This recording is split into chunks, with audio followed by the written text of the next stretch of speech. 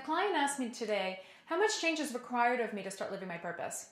First, understand that finding your true purpose doesn't require you to give up a current lifestyle. It doesn't require you to give up on a job that you love or to give up friends that you adore, nor will it require you to transplant yourself to a third world country to serve people. Living your purpose is not a journey to startle you out of your current life. Instead, it's a journey to bless you with the right intention for your life.